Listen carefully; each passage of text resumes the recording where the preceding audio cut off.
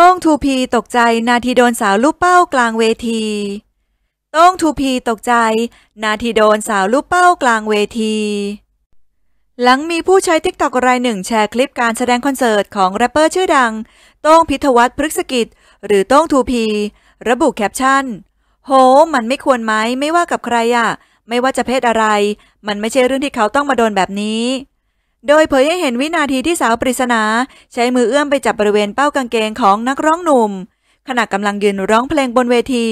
ทำเจ้าตัวถึงกับสะดุ้ง ก่อนปัดมือของหญิงสาวคนดังกล่าวออกล่าสุดได้เจอหนุ่มต้องในงาน c a l i p o Star Wars Collection ที่ชั้นจีสามย่านมิทาววันก่อน เลยสอบถามถึงเหตุการณ์ดังกล่าว โดยต้องกล่าวว่า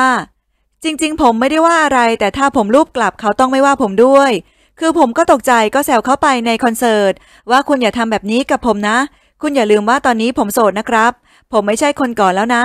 ผมก็แซวตลกตลกๆจริง ๆ เราอยู่ในคอนเสิร์ต เราเจอคนดื่มแอลกอฮอล์มาตลอดเป็นเรื่องปกติ แต่ว่าจับแบบนั้นไม่ปกติ แต่เจออะไรที่ดึงแขน แม้กระทั่งหาเรื่องมีเรื่อง มันก็ต้องระมัดระวัง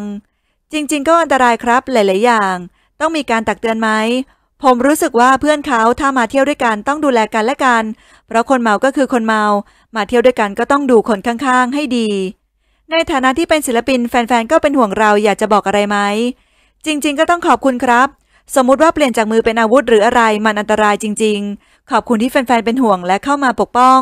รู้สึกประทับใจมาก ก็นั่นแหละครับ ศิลปินเล่นคอนเสิร์ตในผับก็ต้องระวังให้มากขึ้น